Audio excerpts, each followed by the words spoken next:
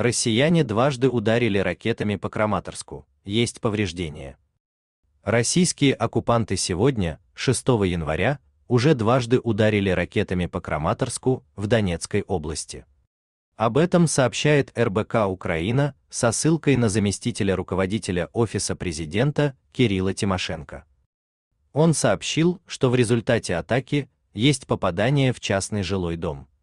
По предварительной информации, обошлось без пострадавших. На месте работают экстренные службы. Напомним, мэр Краматорска Александр Гончаренко сообщал, что сегодня утром россияне обстреливали город. Как сообщалось ранее, 3 января оккупанты снова ударили по Краматорску, пострадал работник бригады по ремонту электросетей.